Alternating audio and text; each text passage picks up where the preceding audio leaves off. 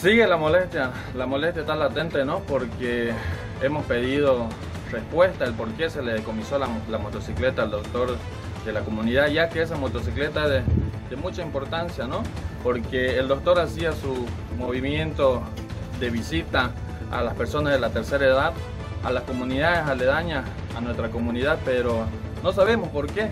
Hubo el cambio de alcalde repentino, eh, fueron y se la trajeron, ni siquiera nos dijeron qué iban a hacer.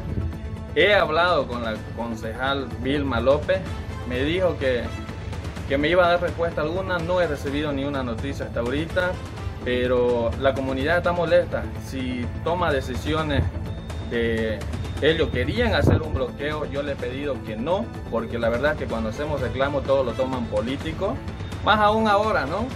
Con las nuevas autoridades que tenemos que más se dedican a, a pelear que, que, hacer gestión, entonces yo le voy a, le vamos a solicitarle vuelta al Ejecutivo que nos dé una respuesta para ver qué, qué nos da. Entonces el médico está ahorita sin, sin vehículo. El médico se encuentra sin nada de movimiento, está ahí como se dice y el, la, las personas nos reclaman es a nosotros, ¿no? Porque dicen que nosotros no hacemos gestión, pero las cosas no son así.